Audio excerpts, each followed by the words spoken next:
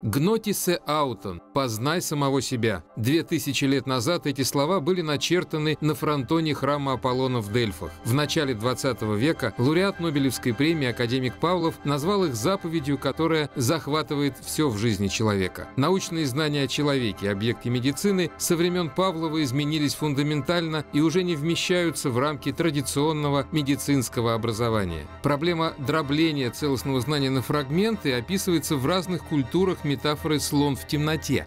Поднимется ли медицина на новый уровень, если ее ввести в контекст современных знаний о человеке, полученных антропологами, генетиками, нейробиологами и психологами. Природа человека сквозь призму наук о человеке. В авторской программе «Медицина в контексте» с Мариной Аствацатурян на Первом медицинском канале. Медникова Мария Борисовна, антрополог, ведущий научный сотрудник Института археологии Российской академии наук. Окончила биологический факультет МГУ по кафедре антропологии. Кандидат биологических, доктор исторических наук, лауреат премии Президиума РАН имени Миклуха Маклая. Главные направления интересов Марии Медниковой – комплексные междисциплинарные исследования в археологии, биоархеологические реконструкции по данным антропологии, морфология человека, эволюционная антропология, манипуляции с человеческим телом в древности. Она – автор свыше 330 научных публикаций, в том числе 21 монографии. Мария Медникова – член ряда российских и международных профессиональных обществ, в частности, Европейской ассоциации археологов, Российского отделения Европейской антропологической ассоциации, Российского общества историков медицины и Европейского общества по изучению эволюции человека. Мария Борисовна Медникова в студии «Медицина в контексте». Здравствуйте, Мария Борисовна. Здравствуйте. Сегодня тот редкий случай, когда и выпуск в целом, и тема, они имеют совершенно конкретный информационный повод, радостный повод, я бы сказала – это присуждение Нобелевской премии 2002 года, Нобелевской премии по физиологии или медицине, известному ученому палеогенетику Сванте Пабу мы потом поговорим, а за что, собственно, присудили, это будет ясно очень скоро. Сванте Пабо – швед по национальности. Почему-то национальность нобелевских лауреатов всегда имеет значение для тех, кто освещает это событие, почему-то и уделяют внимание. Но работает он в настоящее время в Германии, он один из э, руководителей, один из директоров Института эволюционной антропологии Макса Планка в Лейпциге. Ну вот кто такой Сванте Пабо, за что ему присуждена Нобелевская премия, чем вообще занимаются палеогенетики. Об этом речь сегодня. И сразу скажу, что это первый из двух выпусков запланированных, который посвящен древней ДНК и эволюционной антропологии. Пожалуйста, Мария Борисовна, вам слово. Большое спасибо. Здравствуйте, дорогие зрители медицинского канала. Э, я сразу хочу внести некоторую ясность, потому что у меня нет медицинского образования, я биолог по образованию и даже докторская степень у меня по археологии.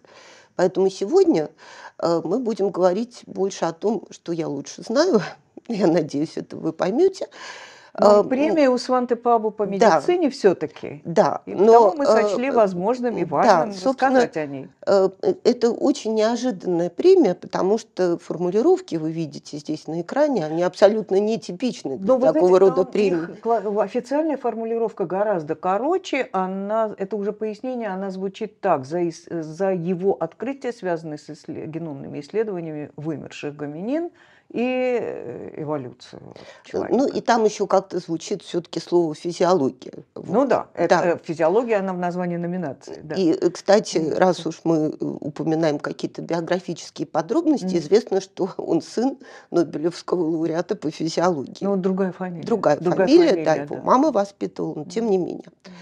И, э, собственно, э, здесь вот вынесены основные позиции, которые присутствуют, э, вот, за которые присудили эту премию, то есть за расшифровку генома неандертальца, за открытие нового ископаемого человечества денисовцев и за действительно новаторское исследование, которое показало участие ископаемых людей в формировании современного человечества и даже влияние на некоторые медицинские аспекты, о чем мы вкратце, надеюсь, тоже сегодня э, поговорим. А, но э, в целом нужно сказать, что, наверное, э, прежде всего Нобелевская премия была присуждена за новое научное направление, за метод. Потому что до Сванте Пабо этого научного направления просто не существовало. Э, ну вот, завершая такую забавную биографическую часть, э, дело в том, что он работает в институте Макса Планка, где очень дружный коллектив, и у них принято замечательные события, э, самые главные научные достижения таким неформальным образом отмечать. В данном случае лауреата искупали в пруду, ага, который вот находится... То ли в обуви, то Причем это произошло в октябре месяце, но вот, по крайней мере, у Сванта Пабо крепкое здоровье. А, собственно, почему э, пригласили, наверное, на эту передачу меня? Ну, так да. получилось, что на протяжении последних 11 лет э, я принимала участие а, в разных очень важных научных мероприятиях, которые э, прежде всего проводились на базе Денисовой пещеры. Там производятся раскопки, которые сыграли действительно огромную роль в открытии новых ископаемых людей. И там собирались очень интересные люди, это действительно топовые ученые, это и сам Сванте Пабо, который делал там доклады, и его аспиранты, и замечательные геологи, физики, специалисты по современным методам датирования э, разных э, находок, происходящих из археологических раскопок. Ну, естественно, хозяева этого форума, археологи и антропологи. А, и сегодня, вот, э, собственно, мне бы хотелось протянуть такой мостик между а, очень важным направлением биологической антропологии, это а, эволюционная антропология или антропогенез, как это принято чаще называть в российской науке, и вот новыми методиками, которые изменили наши взгляды на становление человечества. Сразу я хочу сказать, что эволюционная антропология, она существует достаточно долго, 150 лет, и это была очень консервативная наука, и, собственно, главное это было знание анатомии, и э, именно существующие стандартные методы измерения, описания э, скелетных останков человека, каких-то элементов зубной системы, которые обнаруживаются на раскопках, э, позволили описать э, ископаемые морфологические виды людей. То есть э, выделение таких таксонов, как пятикантроп или Homo erectus, или неандерталец, или кроманьонец, опирались на совокупность анатомических признаков, которые являлись специфическими для того или иного вида. Ну, вкратце я могу напомнить слушателям, что главным таким наиболее стабильным видом человека является Homo erectus или пятикантроп, который существовал на протяжении свыше миллиона лет. И э, ну, в основном э, поздние его формы вымирают порядка 400 тысяч лет назад. Э, хотя, может быть, даже еще где-то он сохранился, например, на острове Ява. Неандертальцы были открыты в 1856 году, и именно это такой классический морфологический вид, потому что особенности строения неандертальских черепов, скелетов очень сильно отличаются от современных. Кроманьонцы – это анатомически современные люди, которые жили во времена Верхнего Палеолита в Европе. Были еще более ранние. Сегодня считается, что э, анатомически современные люди происходят на территории Африки. Э, наиболее ранние находки сегодня встречаются в Марокко, и это древность 300 тысяч лет назад. Спустя, собственно, очень долгое время, э, на протяжении которого эти находки изучались морфологически, стал, появилась возможность изучения древней ДНК. Появилась она впервые 30 лет назад но э, этот метод э, получил очень мощное развитие всего лишь навсего на протяжении последних 11 лет. И, собственно, дивергенция этих ранее выделенных форм, она сегодня подтверждается генетически. И кроме того, у нас появилась совершенно уникальная возможность э, исследовать материалы очень плохой сохранности, совершенно крошечные останки костей или какой-нибудь изолированный зуб, и на основании генетического анализа э, можно получить информацию о существовании ранее неизвестных видов ископаемых людей. А, итак, вот мы перед вами, э, собственно, очень известная, да, опять же, фотография Сванте да. Бабо, который держит в руках череп неандертальца. И, собственно, он получил, э, этот исследователь долго шел собственно, к своему успеху. Он получил очень разностороннее образование. В какой-то момент хотел стать египтологом. Э, поэтому неудивительно, что э, первый опыт экстракции древней ДНК, который mm-hmm. осуществил, э, по-моему, в 1986 году, он как раз связан с останками египетского человека, mm-hmm. с египетской мумией. Mm-hmm. Итак, вот что такое древняя ДНК сегодня? Это, собственно, любая ДНК, выделенные из останков человека, которые мы обнаруживаем при археологических раскопках. Очень долго было непонятно, как глубоко можно изучать, вот, какой древности должны быть э, скелетированные останки, которые доступны для изучения этим методом. Вот на сегодняшний момент остается самой ранней находкой э, такой э, э, кость гейдельбергского человека, который жил порядка 560 тысяч лет назад на территории Европы. Это очень большой успех. Ну и э, это сегодня не тема нашего разговора, но в нашей стране существует определенное законодательство, mm-hmm. которое регулирует эти вопросы. И, э, собственно, археологическими образцами считаются находки древностью всего лишь 100 лет. То есть это то есть, 1922 говоря, останки год. моего дедушки это уже археология. Ну, строго говоря, строго да. Говоря. Строго говоря, да. Ну вот, э, давайте мы э, в самом таком общем виде разберем вопрос, э, что мы можем извлечь, какую информацию мы можем получить, когда мы рассматриваем анализы древней ДНК.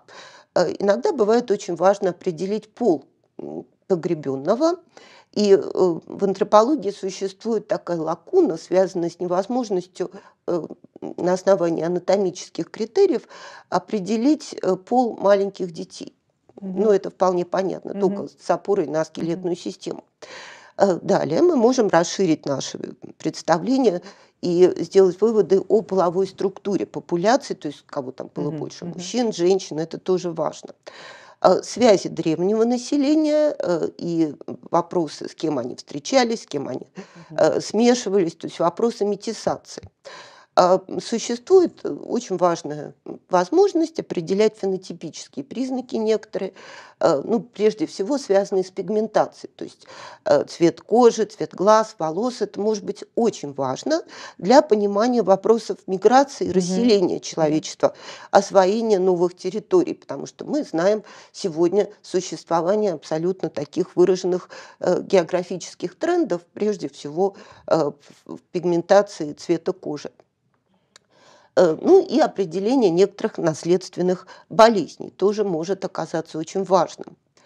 Э, в последние годы, э, собственно, бок о бок с генетиками, которые непосредственно работают в лаборатории, идут биоинформатики, потому что очень важно уметь правильно обсчитать эти mm-hmm. материалы, сравнить их с теми метаданными, которые накоплены и при изучении уже древнего населения, при изучении современного населения.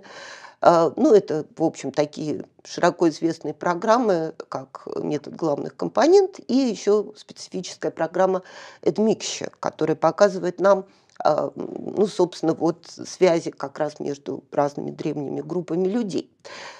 Сегодня мы немножко поговорим, или, может быть, в следующий раз мы затронем эту тему, об интрогрессии Э, архаических людей и о возможных встречах э, людей разного происхождения, mm-hmm. давно дивергировавших, то есть э, тех представителей разных ископаемых человечеств, которые, возможно, могли передавать друг другу генетический материал. А, и, собственно, попытаемся на некоторых примерах рассмотреть вопрос, как эти встречи повлияли на некоторые аспекты биологии человека сегодня, сегодняшнего человека, тех людей, которые... Ну, это у нас во второй части, насколько а, я Ну, мы попробуем да. сегодня подвести, а во второй Мостик части, перекинем, если да. получится, то мы продолжим. Да. Еще 15 лет назад мы бы с вами обсуждали примерно такие картинки, потому что наши как бы, представления а, об эволюции человека, о его расселении э, применительно к генетике, они опирались исключительно на анализ ДНК современных людей. И, собственно, вот эта картинка, она была построена примерно в середине 2000-х годов, э, когда был большой проект «Геном человека», и, собственно, уже эти данные, это результаты, естественно, моделирования, они показывали, что человечество происходит на территории Африки, и первые представители рода Homo, ну и в данном случае анатомически современные люди. Э, тогда э, оперировали, ну, в общем, такими датировками модельными 130 тысяч лет назад. По данным антропологии, это было 200 тысяч лет назад. И вот в процессе миграции, благодаря некоторым, нескольким волнам миграции, люди выходили из Африки и, э, собственно, осваивая новые территории с новыми климатическими э, условиями, люди тоже менялись. Потому что, естественно, возникали мутации, которые Адаптации, разбивали да. человечество на разные группы. А, именно тогда же, где-то лет 20 назад, возникли такие э, понятия, как генетические прародители человека, то есть условный генетический Адам, условная генетическая Ева. Тоже, в общем-то, это был такой э, прогноз, скажем так, вглубь нашего mm-hmm. прошлого э, на основании данных изучения современной ДНК. Ну, это такие условные персонажи, которые являются предками всех ныне живущих людей на Земле, то есть они были настолько удачливы, что передали свой генетический материал потомкам. Их потомки тоже были удачливы.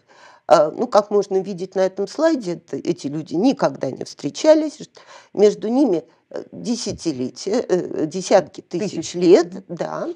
Вот, и э, объединяет их лишь одно, что, опять же, по этим модельным данным, э, они жили примерно на одной территории в северо-восточной Африке. Э, Адама вычислили, очевидно, по Y-хромосоме, да, а да, Еву по митохондриальной да, совершенно, совершенно справедливо. А, он да. не заметил, да. Да, я как раз подключил. И, собственно, вот давайте мы вернемся к анализу древней ДНК, потому что здесь есть разные методические возможности.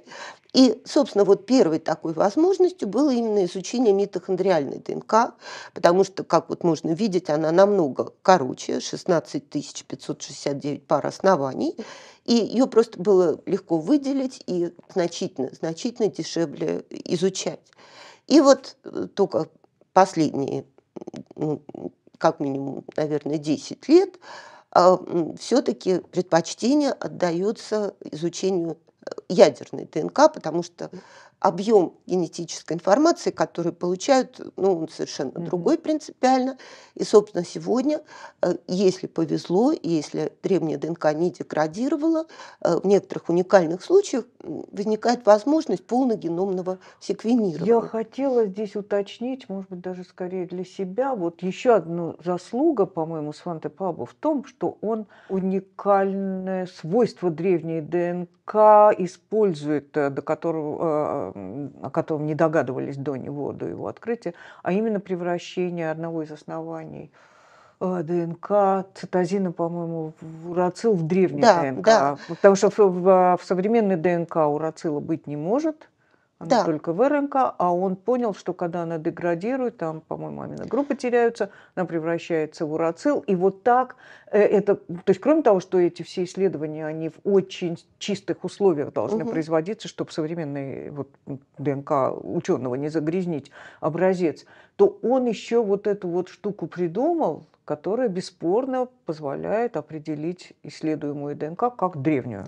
Правильно я понимаю? Да, вы понимаете, там еще есть такой подход, э, вот, э, основанный на как бы, оценке деградации ДНК. Mm-hmm. Это вот, получаются такие графики, которые называются усы древности. Современная ДНК никогда не даст такого графика. Mm-hmm.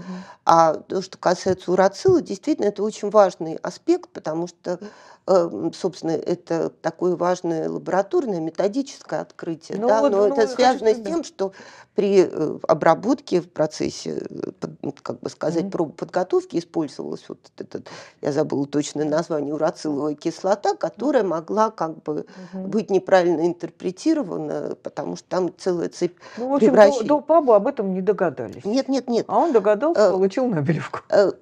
Понимаете, это действительно такая вот цепь открытий, mm-hmm. которые, ну вот каждый шаг, да, он должен был быть подтвержден. И, собственно, вот следующий, э, следующий слайд, он да, как раз посвящен да. основным принципам mm да, изучения древней ДНК, потому что это на порядок более сложное занятие, чем изучение ДНК современного человека.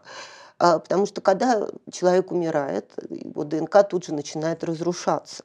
И в зависимости от того, в каких условиях погребено его тело, Э, в жарком климате или в сухом, влажном. Да, да. еще там какая-то кислотность почвы mm-hmm. может влиять. Много-много факторов. Собственно, она может деградировать практически полностью. И, собственно, э, та древняя ДНК, э, с которой имеют дело специалисты, это как бы цепь фрагментов, которые да, иногда очень коротких каких-то участков, которые э, очень сложно интерпретировать. И, собственно, поэтому изначально эти исследования вызывали иногда какой-то скепсис со стороны неспециалистов.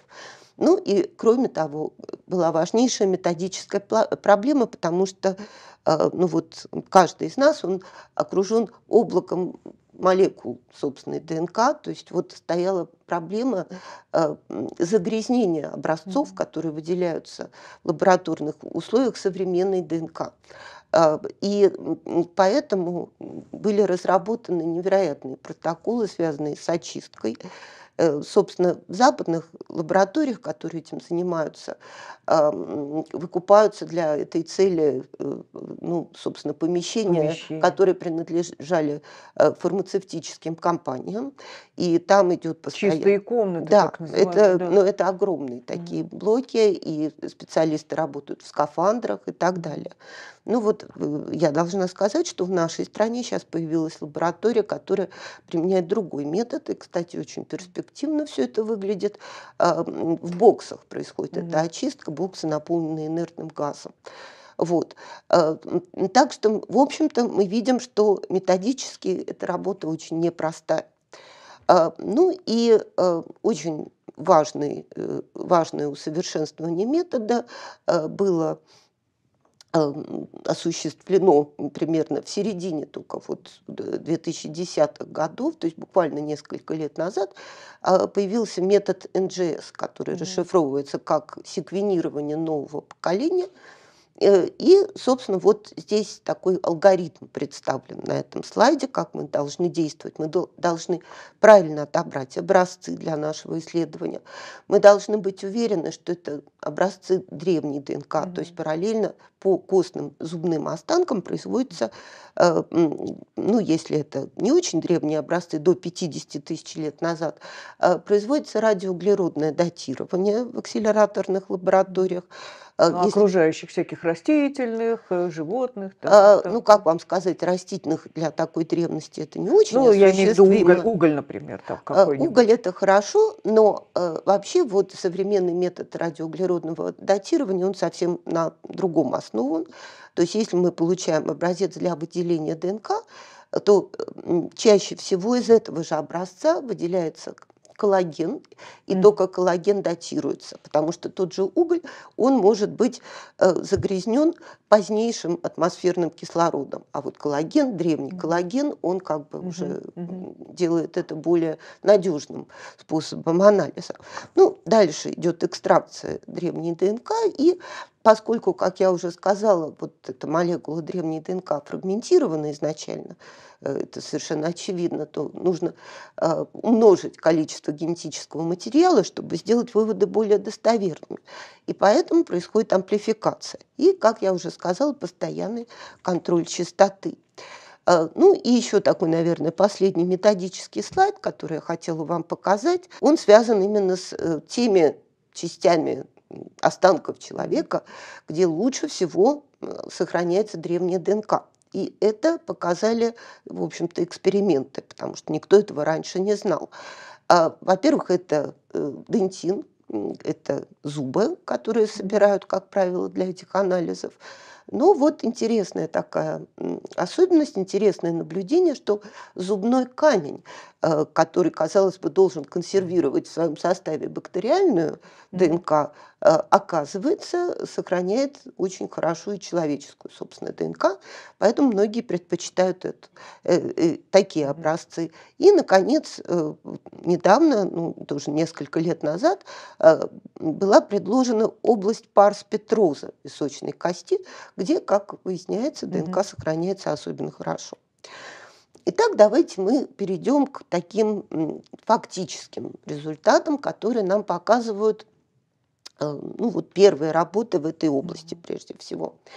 А, и первая ДНК э, ископаемого человека, это была ДНК неандертальца, того самого, который был найден в гроте Фельдсхофер в 1856 году. И хранится он в Германии.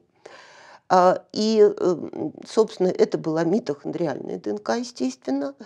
Публикация, по-моему, была э, в 1997 году. И буквально спустя пару лет э, этот опыт был удачно очень повторен в работе нашего соотечественника бывшего Игоря Овчинникова – который выделил ДНК из э, костных останков неандертальского ребенка, найденного у нас на Северном Кавказе в Мезмайской пещере.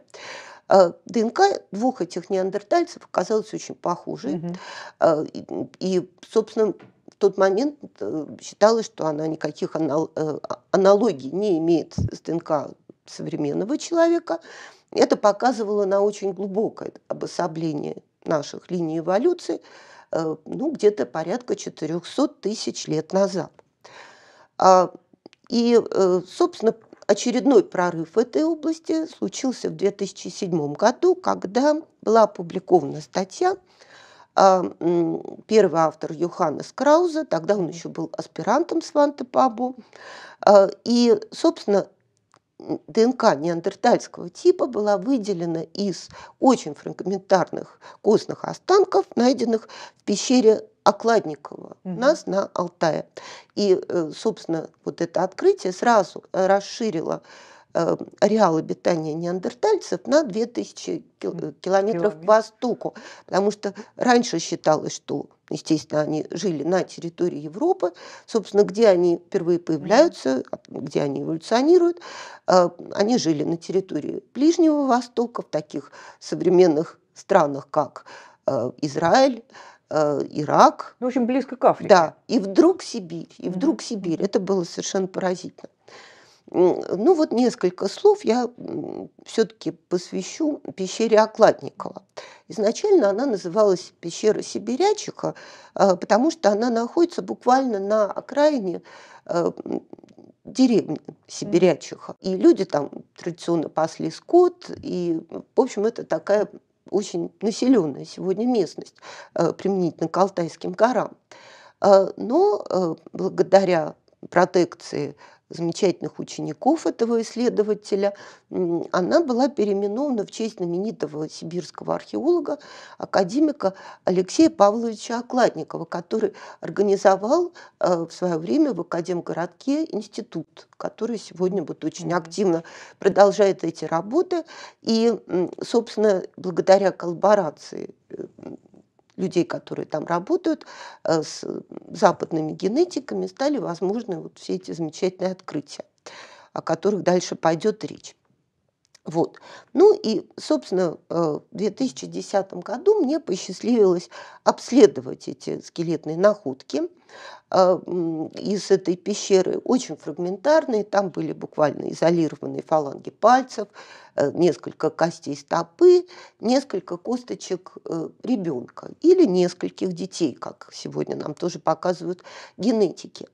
Э, применялись совершенно традиционные методы антропологии эволюционной, то есть измерения mm-hmm. и сопоставления с вот обширной базой данных ископаемых находок примерно за 2 миллиона лет.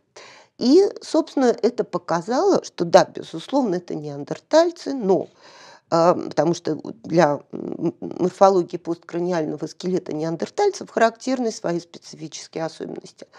А, но также в строении этих очень фрагментарных костей присутствовало нечто специфическое, и в том числе некоторые признаки, которые до этого были встречены только у э, Homo erectus, у пятикантропов.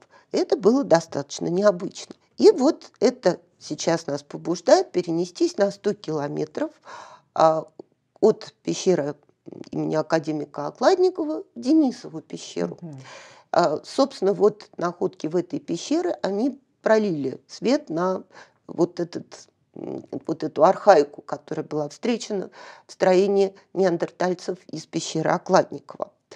А в 2011 году в Science была опубликована статья э, журналистки Эн Гиббонс с названием э, «Кто такие денисовцы?».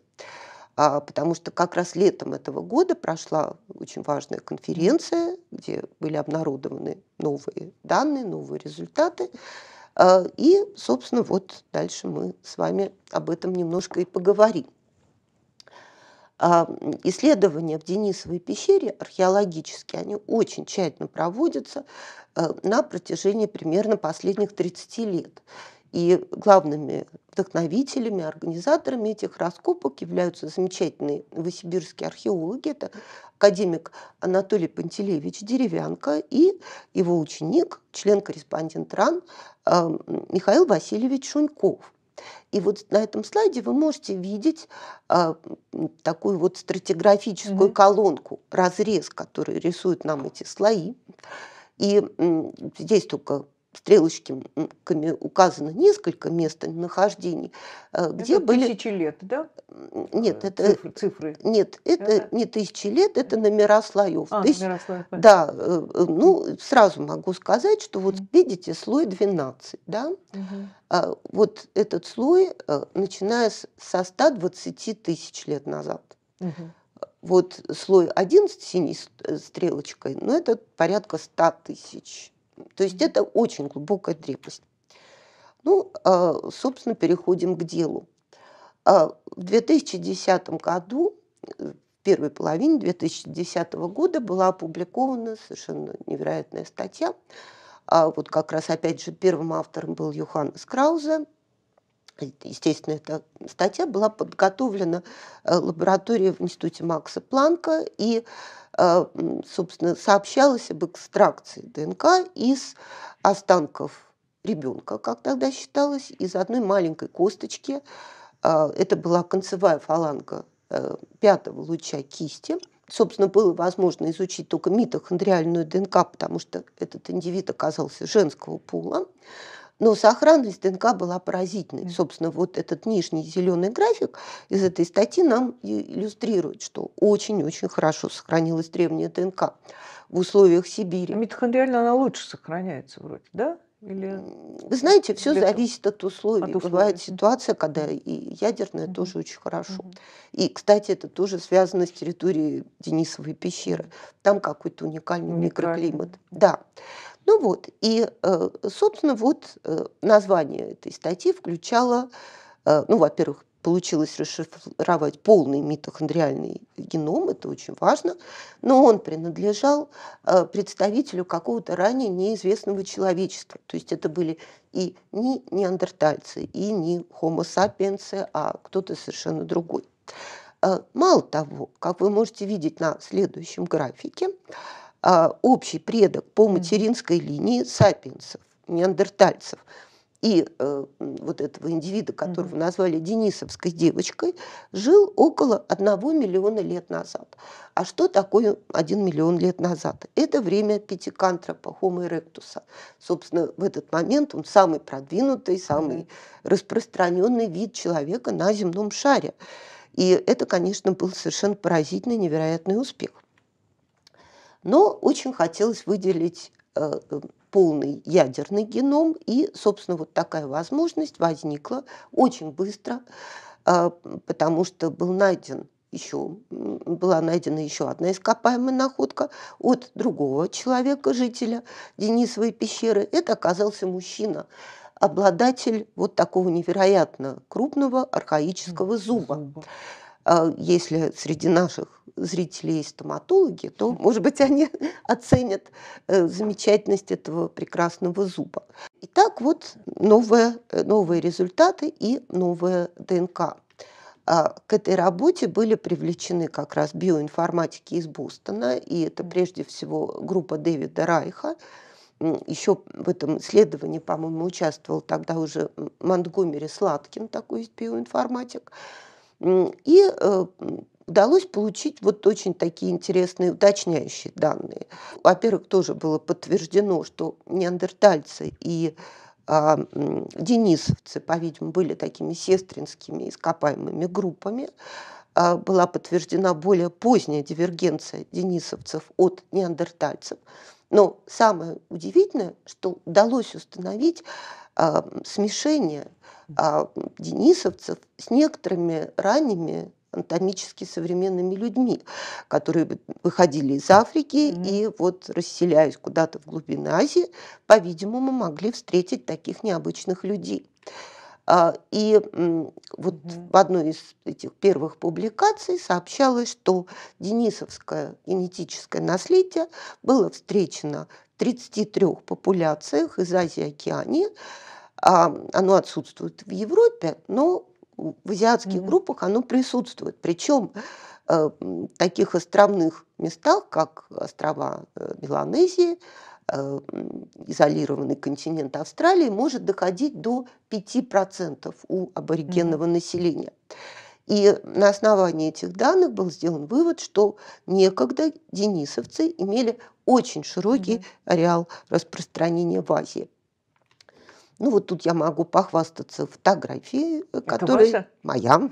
Завидую, и, вот, завидую. Это была замечательная профессиональная экскурсия как раз вот в пещеру Окладникова. И вот Сванте Пабу, который сидит и под думает. навесом и смотрит на долину, где когда-то паслись стада шерстистых носорогов, а это был грот, такое убежище для целой замечательной семьи неандертальцев. А, итак, Собственно, по данным генетического анализа, э, в Денисовой пещере жил кто-то, кто не был сапиенсом, угу. не был неандертальцем. А ну вот как они выглядели, до сих пор остается, в принципе, загадкой, а, потому что очень мало находок.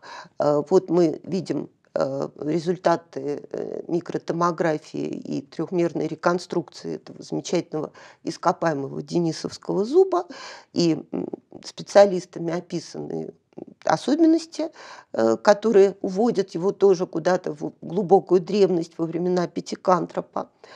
А, но находок было очень мало. Я хочу упомянуть о недавней относительно находке. Была, да, да, собственно, публикация это появилась, по-моему, в 2018 mm-hmm. или 2019 да. году. Э, подготовлена она была антропологами в данном случае и э, под руководством в тот момент э, директора Института Макса Планка, профессора Жан-Жака Юбле. И История совершенно фантастическая. Э, вот как бывает иногда со всякими ископаемыми самыми важными находками, там какие-то возникают приключенческие истории. А, в общем, это история тибетского монаха, угу. который молился вот в этой пещере э, Сяйхэ, да? А это такая специальная большие, пещера, куда название... ходили молиться. Да. да, да, да. И э, случайно вот в процессе медитации он обнаружил половинку э, нижней челюсти человека. И, собственно, очень долго ее хранил. Э, и спустя чуть ли не два десятилетия она попала, наконец, для изучения в Пекинский институт, откуда аспирант ехал э, как раз заниматься своей научной работой в институт Макса Планка. И он привез этот фрагмент своему научному руководителю, э, профессору Жан-Жаку Юбли. Вот на этом изображении вы видите тоже э, результат реконструкции трехмерной, да, то есть это была сделана томография, и, собственно, вторая половинка – это зеркальное отражение. Вот. И, собственно, Жан-Жак Юбле, будучи опытным анатомом, морфологом, он обратил внимание на невероятное сходство строения этих зубов э, с строением зуба, который известен из Денисовой пещеры. И сразу обратились к генетикам, но выделить ДНК не удалось, к сожалению. Но удалось выделить белки, и угу. вот тогда был сделан протеомный анализ, который действительно подтвердил, что это были, э, что э, это... Денисовская да, челюсть. Что, и получается, что денисовцы жили на территории Тибета порядка 160 тысяч лет назад. А в Денисовой пещере они, по-видимому, жили еще раньше. А, и вот, собственно, следующий слайд нам перечисляет все известные находки, ну, я не знаю, может быть, коллеги обнаружили что-то еще во время последнего полевого сезона, но э, в ну, таком официальном пространстве да, да, э, известно три зуба, вот это фаланга мизинца, обломки черепа, кстати, не опубликованные, очень массивный череп, как сообщают, и вот эта челюсть из сайхэ. Но, опять же, э, фенотип может быть установлен и генетическими данными, и они говорят о темных волосах, вообще такой темной пигментированности, темных глазах, э, что, в принципе, вот связывает нас больше с какими-то тропическими регионами, но при этом горные массивы, это мы уже понимаем. Что интересно, то есть, ну, э, к югу от Алтая простирается такая замечательная страна, как Китай, где производятся раскопки и иногда обнаруживают вот такие совершенно замечательные черепа. А, который известен под названием «Череп из Дали» или «Homo longi». А, и, в принципе, эти люди могли быть денисовцами, потому что ДНК из находок на территории Китая не выделяется. Жаркий климат, угу. влажность, и пока вот таких успешных экстракций нет. То есть вот мы все время дополняем друг друга, используя разные методы. Да. Ну, на этом мы пока остановимся. Разговор о денисовцах у нас будет продолжен в следующем выпуске. А по скриптуме я хотела спросить о других э, людях, генетические исследования которых пока, насколько мне известно, или ничего не дали, или не проводились. Э, наверное, вы следите за этими людьми. Я имею в виду находки, сделанные в Дманисе, в Грузии. А, миллион восемьсот тысяч лет назад там жил кто-то очень человеческий. Очень человеческий, э, пока непонятно. Но есть реконструкции, есть художественные. А, вот, э, возможно, это даже первый выходец из Африки, никто не знает. Иногда его определяют как Homo georgicus или Georgicus, не знаю как. Угу. Вам что, как, как вы считаете, кто это? Может быть, Homo erectus все-таки? Э, вот кто, кто это, что, что угу. о нем известно внутри сообщества антропологов? Угу. Ну, я хочу сказать, что это, конечно, совершенно фантастические находки, и э, мы очень ждем обнаружения аналогичных э, именно скелетных находок э, на территории Армении. Но это, на территории это Дагестана, это где, на границе тоже, с Арменией, где найдена каменная индустрия, тоже да. указывающая на очень глубокую Нет, ну, древность. Давид Лорд Кипанидзе, известный вам, он да, да, рассказал да. шутку, мы, говорит, шутили, что как хорошо, что граница проходит здесь, иначе это открытие досталось бы армянским коллегам, а не нам. Потому да. там очень близко от границы да. с Арменией. Что можно сказать? Э, вообще вот история исследования Маниси подтверждает невероятно ранние миграции представителей рода Хома из Африки, потому что, э, собственно, вот э, Homo habilis – это такой промежуточный вид между грацильными австралопитеками и э, уже людьми совершенно определенными, такими как пятикантроп или Homo erectus. Но считается, что Homo habilis не выходил за территорию Африки, хотя тут есть разные точки зрения. А вот те, кто первый вышел, это, безусловно, ну вот в материальном смысле, это люди из Маниси. Причем Действительно, по-моему, сейчас вот новые даты появились порядка уже и 1,9 миллионов лет. недавно нашли, обсуждаются, там да, еще там рядом, в 25 километрах, да, да по-моему, вот, угу. да. Конечно, э, это совершенно поразительно, но это очень логично, потому что Homo erectus э, появляется на территории Африки тоже вот почти 2 миллиона лет назад. И это человек, который в отличие от своих эволюционных предшественников, переходит к активным действиям. То есть человек из, э, из э, жертвы потенциальной становится хищником, он угу.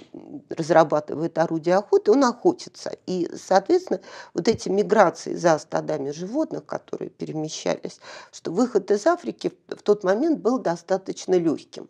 Мало того, они попадали в Ливантийский коридор, угу то есть вот пути миграции, они потом неоднократно повторялись. А Кавказские горы в этот момент были намного ниже. Поэтому тоже им было достаточно Потом легко там туда природа попасть. была удивительная совершенно. Угу. И мне повезло, я прям один день провела там на раскопках. В этот день нашли Петро страуса. Ну, То есть там страусы угу. бегали. Да, там да, бегали конечно, страусы, конечно. там совершенно какая-то была такая райская земля. Ну, э, вы знаете, э, вот еще такой момент, уж раз мы э, говорили уже про денисовцев, там, например, были найдены какие-то артефакты в Денисовой пещере в Сибири, изготовленные из скорлупы страуса. Угу. Меня это совершенно поражало. Ну, просто климат бывал другим, фауна была другой, поэтому вот такое тоже возможно. Вот вернемся к да. людям из Маниси. Фантастическая сохранность черепов, скелетов, э, которые нам позволяют судить об особенностях скелетной конституции, о невероятном разнообразии этих людей, об их полиморфизме, потому что эти черепа, они очень сильно отличаются друг от друга, то есть вот это нам показывает а, ну, я не знаю, что это нам может показывать, что, э, конечно, они были родственниками, но, может быть, уровень инбридинга был не таким большим. Э, по поводу выделения ДНК, к сожалению, я думаю, сейчас методически пока, да, это невозможно, нет, потому нет. что это именно уже окаменевшие, скорее всего, кости, то есть там произошла эта фасилизация. Очень интересные наблюдения, связанные с исследованием черепа пожилого мужчины, э, который при жизни утратил э, все зубы, представитель этой группы, но, по-видимому, прожил долгие годы. Да, да, да. И это поднимает известную тему про альтруизм этих людей. То есть его это должны были кормить, пример, да. поскольку они питались исключительно мясом. Ну, угу. как правило, все-таки растения, безусловно, тоже были, но ему, по-видимому, чуть ли не пережевывали эту угу. пищу. Хотя хотя на его же черепе встречены следы хорошо заживших травм. Так что у нас ну, такая двойственная били, история. лечили, били, да, потом сами били, Ну, может быть, не, не они, а какие-то враги какие-нибудь. Конкуренты, да, да какие-то враги. С территории Армении. Спасибо большое, Мария Борисовна. Мы надолго не прощаемся. Мы встретимся очень скоро.